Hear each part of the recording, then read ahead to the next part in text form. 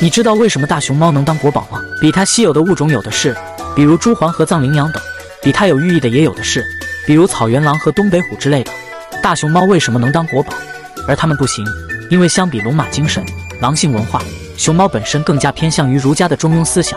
大熊猫表面上看它憨厚老实，总是一副憨憨的样子，但你要知道，熊猫它是一只熊，不是猫啊！它可是站在食物链顶端的男人，在自然界中几乎是没有任何天敌。从战斗力来看，一只成年熊猫能同时单挑两只成年华南虎；从咬合力来看，河马见了都摇头，实在是干不过。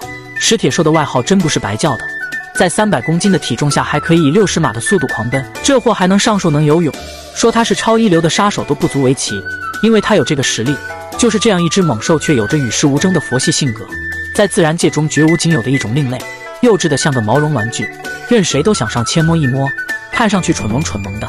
只有在捕猎和受到威胁时的时候，才真正展现自己的身手。多少国家挤脑袋洞也想向我们租借一只大熊猫。荷兰换了三任首相，经历十六年的连续申请才租到两只大熊猫。南非更是换了五任总统，坚持不懈向中国申请了二十年，都没能租到日夜思念的大熊猫。而租借一只熊猫需要每年支付六百九十万的租金，而且是两年起租，租期为十年。光是大熊猫出租生意，每年已经创下三十四亿的 GDP 了。